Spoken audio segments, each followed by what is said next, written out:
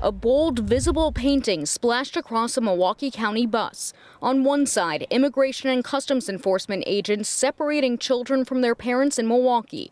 On the other, hands reaching out to touch an ICE officer, next to a guide listing what to do if ICE comes to your door. The display is a group art project by the Milwaukee Art Museum summer interns. They've done it for the last 17 years and pay for an ad space on a transit bus for the public to view. It's an opportunity for them to have a platform to use their artistic voice to comment on an issue that's important to them in the city of Milwaukee. Over the years, they've covered social issues from gun violence to mental illness, but this year's is getting special notice. County Supervisor Dan Sebring calling for its removal, saying it's, quote, an offensive abomination and a slap in the face to law enforcement officers and officials at every level. Supervisor Sylvia Ortiz Velez has another take on the display. I see the fear, the very real fear of our neighbors um, and the people that have been living in our communities, some of them almost their entire lives. But I also see the rights of our Constitution. Bus rider Eugene Dungeon feels indifferent. It's not going to influence me one way or another. At this time, the display is expected to remain on the bus for about a month and a half.